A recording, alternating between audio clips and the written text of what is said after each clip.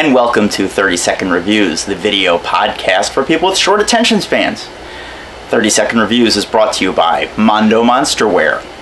Mondo Monsterwear, t shirts that feed the geeky mind. A portion of all profits from Mondo Monsterwear shirts go to various charities, causes, and organizations.